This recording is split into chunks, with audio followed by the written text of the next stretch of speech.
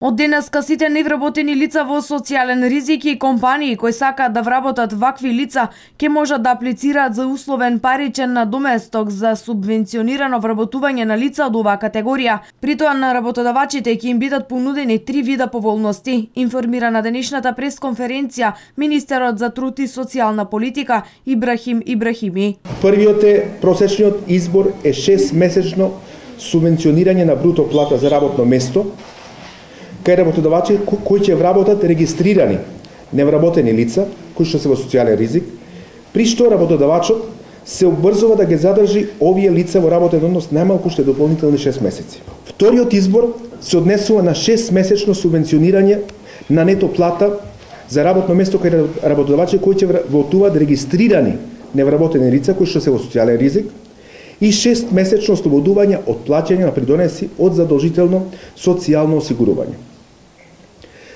Третиот избор е 6 месечно субвенционирање на нето плата за работно место кај работодавачи кои ќе вработат регистрирани невработени лица, кои што се во социјален ризик, и 36 месечно ослободување од плаќање на придонеси од задолжително социјално осигурување и персонален данок доход со обврска работникот да се задржи дополнителни 12 месеци на работа. На пресконференцијата министерот ја промовираше и програмата за кредитирање правни субјекти за отворање нови работни места. Барањето за кредит може да достават сите заинтересирани евидентирани невработени лица.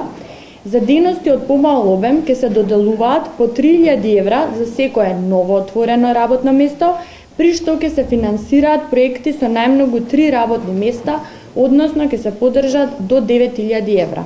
Министерот Ибрахими ги повика сите заинтересирани работодавачи и невработени лица да се пријават по објавените јавни огласи и да посетат еден од 30 центри за вработување, каде ќе можат да ги добијат и подеталните информации за вклучување во некоја од програмите.